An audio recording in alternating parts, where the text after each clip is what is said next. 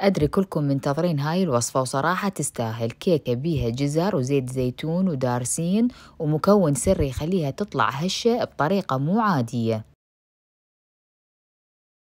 أول شي نقشر الجزر ونبرشه ونحطه على صفحة وبعدين نبلش بالكيكة. بيض وفانيلا وسكر بني وسكر أبيض وزيت زيتون. وهذا هو المكون السري اللي قلت لكم عنه. ننخل المكونات الجافة اللي هي طحين و baking powder و baking soda وملح ودارسين ونخلطهم بالإيد.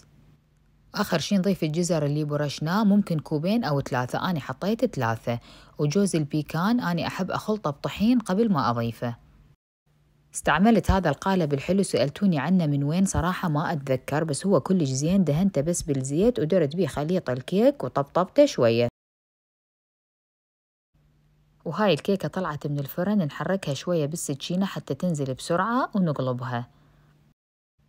أكو أحلى من هيجي كيكة. نحضر ال frosting مقاديره كلها مكتوبة تحت الفيديو وأنصحكم تخلطوه بالإيد لأن أني كل السكر طار علي. طبعا القالب صغير فزاد عندي من خليط الكيك سويت منه هاي الكيكات الصغار للجهال يكيفون عليها. جربوا الكيكة ودزولي تطبيقاتكم وبالعافية مقدما.